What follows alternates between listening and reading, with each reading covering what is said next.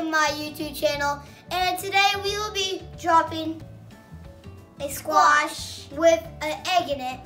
So all you just need to do is just cut the squash open in the middle and you need to put the, um, the egg in there where you know where that hole is and then you just need to duct tape it so it doesn't fall out.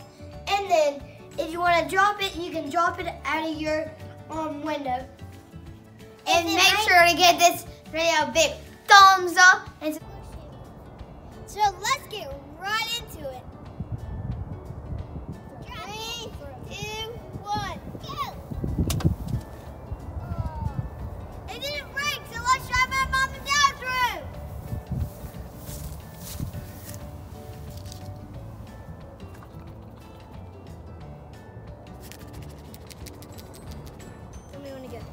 So let's see this bad boy. That goo? Hold it up. Let's see if it count is coming out. Spread it apart, spread it apart. Oh. Move your hands. Nice sure. Yep, look at it. It's coming out. That move your Yep. hand. like and subscribe to our Meyers Madness channel.